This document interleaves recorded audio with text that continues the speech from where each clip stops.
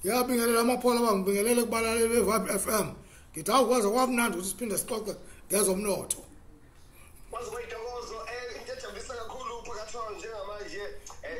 sesine-app nje sungakwazi ukuthi udownload i-app nabantu base-groundville noma ngabe usegoli umuntu noma ngabe use-cape town edownloade um i-app ye-vibe f m um ukwazi ukusilalela. Noma ngabe ukuphi nomhlaba njengamanje uyabona nje phakathi kwayo ukuthi Yeah. sikhuphula amasebenzi kangakanani manje. Ngi- ngiyibonile le nto amaphola oba ngiyahalalisa ku-vibe f m ngithi halala inhle kabi le nto ukuthi sizokwazi ukunilalela noma sikuphi ningasibandlululi thina abantu base-groundville yebo yebo yebo kwazi kwayintokozo phakathi kwayo ngiyazi suke kwisikhathi esikhethekile kakhulu lesi phakathi kwayo Yeah. um enye yezinto e- engiyithanda kakhulu la phakathi kwayo senza izinto ey'hlukile okuhluke kakhulu ukuthi sichazele abantu bakithi ikakhulukazi bendlu yakithi ensundu um ezomnotho um ngolimo abaluzwa kangcono phakathi kwayo ngoba hey, yazi ukuthi noma ukuthi uvula umabonakude hey kuvele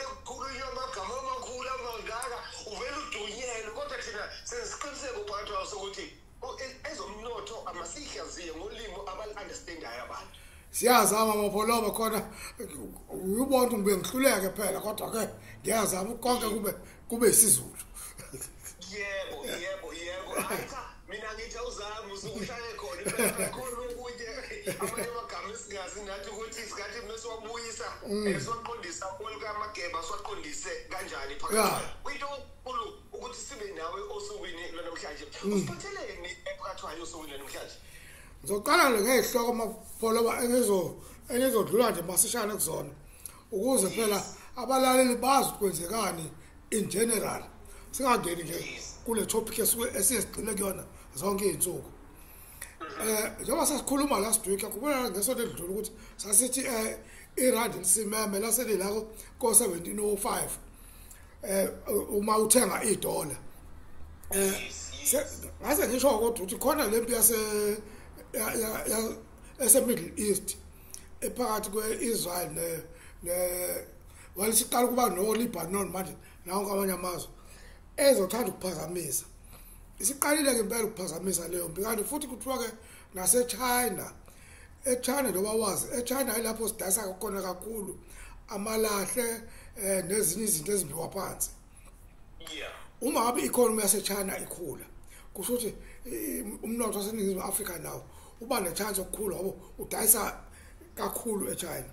So echina kuthiwa bezama ukuthi benze lento yoku- yokujova umnotho wabo ukuthi uthi ukuvuseleleka. Yakhumbula sikhuluma ngomjovo jovo umnotho nabo bezama ukujova lapho athi lo mjovo abawufakile awusebenzi kahle. So lezo zinto indaba yempi yase-middle east ke nalento yo- yomjovo ongasebenzi ngase-china iwona osoza ukuthi irandi lithi kuntengantenga ngokukhathazwa nedola selila manje lila ko-1757 1760 cabanga lithi ko-1705 kanti-ke okwempi yasemiddle east uqobo lwayo sekwenze ukuthi uwoyela um uthi uku- ukunyuka. Akhuba ukuthi wawula ko-72 dollars ibarrel. Usula ko-77 dollars ibarrel manje. Yiloko nje kafushane bengithi angikuveze ukuthi mukhumbulayo ukuthi ngathi lezi zinto sezayoba bakhona umuntu omana press ibutton siyanyuka njalo siyehla. So ayikho into ukuthi kune-fundamental kune- kunesizinda sokuthini. Ukuthi nje so lento ukuthi sobheke erandini ukuthi irandi lizoseva irandi ngajika overnight ngajika nje ebus- ebusuku yavuka kusasa irandi seliyenye into. Yiloko bengithi angikubeke nje kafushane. Ezinye indaba ezibalekile ukuthi u- umnumzana umantashe uthatha ama headlines kulezi insukwana nezinto ezimbili azishilo ngoba kune conference yase-Africa eh, eh, emalana no nowoyela eh ezamandla. Kule into yokuqala eshilo kule conference ukuthi eh uma ngabe kungasivunyelwa kahle ukuthi iningizimu Afrika isebenze kahle lento kuthiwa i-upstream ukusho ukuthi ingagcini ukuthi igcina uzohlu ngokuzohluza oil ukuthi ube upetrol but iqhubeka nento yokuthi kumbolwandle eh kumbe uoil lapho ukhishwa uoil lapho ukuthi mabe kungavunyelwa leyo mboni ukuthi isebenze kahle leyo nto leyo ingenza ukuthi i-economy yaseningizimu afrika ikhule ngo-8 percent u-8 percent 8 percent akuyona insango wena amapolowo 8 percent ilo Yeah. owawushiwo ku- uma kuqeda uku-adoptha i-national development plan ngo-2012 ongakaze kwenzeka kuze kube u-6 percent. Ongaze wenzeka kuze kube manje. Sihlala sila ko-0.1 sibe sibe o-minus so uma ngathi i-economy ikhula ngo-8 percent ngaba yenye into leyo ngaba kuthiwa ku- ku- izwe lijike ngempela.